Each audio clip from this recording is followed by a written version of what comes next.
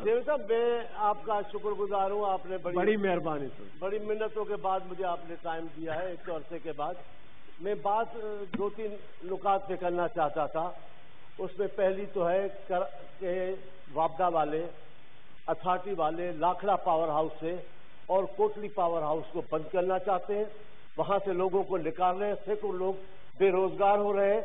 आपने ये पहले मसला कमेटी में उठाया था कमेटी ने यहाँ बड़ी मेहनत के साथ वो फैसला भी दिया लेकिन ये हुकूमत किसी कमेटी पर अमल दरामद करने की पाबंद नहीं है।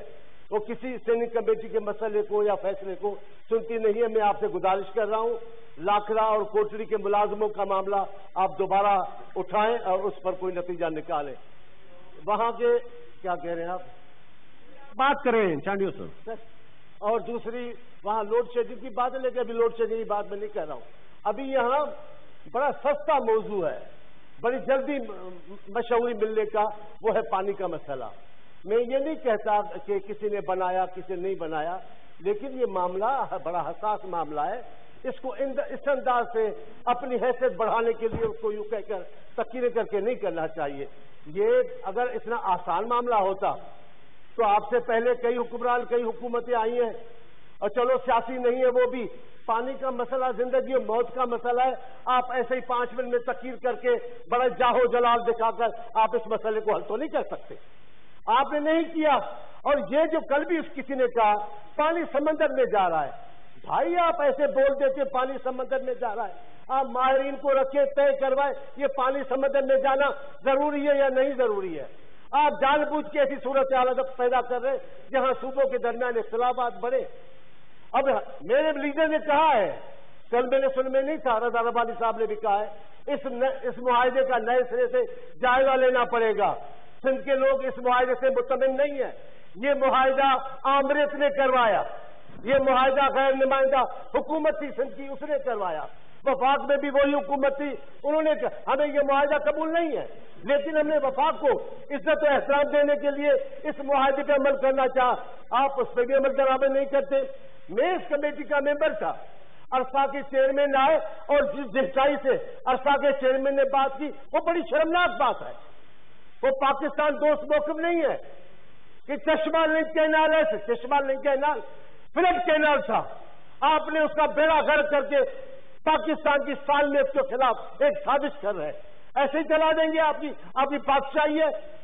आप चश्मा लिंक कैनाल चलाएँगे, आप दरिया सिंध का पानी बंद करेंगे। सिंध को रेगिस्तान बना देंगे। बस आपके, आपकी जागीर है, ऐसा नहीं हो सकता। इसके लिए मैं चौधरी साहब ने अच्छी बात की कि चलो कमेटी बनाए, कोई बात करे। ये तो ठीक है, लेकिन ऐसे बाख्तियार कह देना कि पानी हमको मिलना चाहिए और चश्मा लेकर चश्मा लेकर कैनाल नहीं चलने देंगे। आप ज़बरदस्ती चला रहे हैं। मुझे नाराज़गी है। शहबाज शरीफ साहब से भी। मैं माफ़ी माँगता हूँ उनकी पार्टी से भी। उन्होंने भी अपने दौर में जिस अंदाज से चलाया वो सिंध के लोगों के लिए काबिल कबूल नहीं था। इस मामले पर गुंडागर्दी हमें कबूल नहीं है। पाकिस्तान किसी एक सूबे की मिल्कियत नहीं है। जो पाकिस्तान की बात एक सूबे से आएगी, वो वफाक की बात है। बलोचिस्तान की कोई बात वफाक की नहीं है। पख्तूनखा की कोई बात पाकिस्तान की नहीं है। सिंध की कोई बात वफाक की बात नहीं है। आप चैंपियन बन गए, वफाक के जो आप करेंगे, वो होगा, ऐसा नहीं होगा। इस मुआदे से सिंध के लोगों को तकलीफ़ है। इस वक्त सिंध के लोगों की जमीनों को पानी नहीं मिल रहा सिंध के लोगों को पीने का पानी भी नहीं मिल रहा है। इस मुआदे का नए से और इरसा में एक इरसा में एक मेंबर एक सूबे की गुंडागर्दी बंद होनी चाहिए। इस मुआदे का नए सिरे से जायजा लेना चाहिए। हमें कबूल नहीं है। ये मामला ऐसा नहीं चलेगा। मुझे चौधरी साहब के लिए इज़्ज़त है। मैं उनसे कोई इख्तलाफ ज़्यादा नहीं करता, मैं उनका एहतराम करता हूँ। लेकिन वफाके पाकिस्तान का चेहरा दिखाए। आप इलाकाई चेहरा न दिखाएँ। इलाकाई वोट लेने के लिए इलाकाई बातें ना करें। अगर आप वफाक की सियासत करने आए थे तो वफाक की बात करें। वफाक की बात चारों सूबों के मफादात की यकसा बात करनी है। एक सूबे की बात करना पाकिस्तान को नुकसान पहुंचाना है।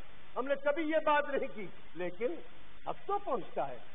कि अगर सिंध को तकलीफ़ है तो सिंध की अब करेंगे, मातम करेंगे। हाँ अगर किसी मसले में पंजाब को, पख्तूनख्वा को, बलूचिस्तान तकलीफ़ में है तो हम उनके लिए भी ऐसी आवाज़ उठाएँगे। लेकिन यहाँ तो सिंध का बेड़ा गर्क किया जा रहा है।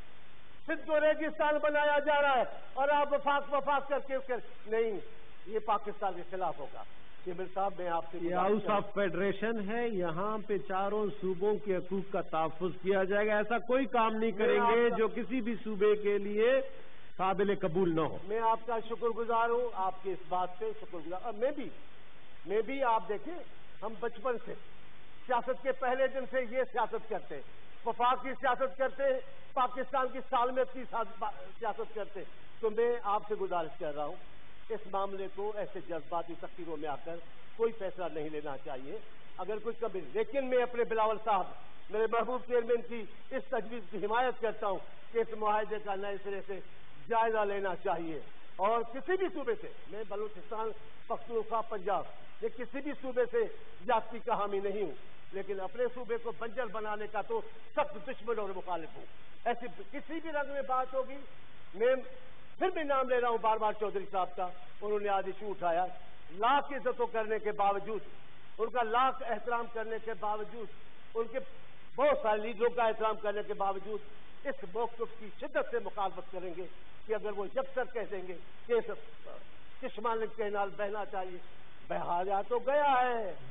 गुंडागर्दी के ज़ोर पे चला तो गया है। और ये कानून, वो मुहिदा कबूल नहीं है जो नुकता आपने उठाया है।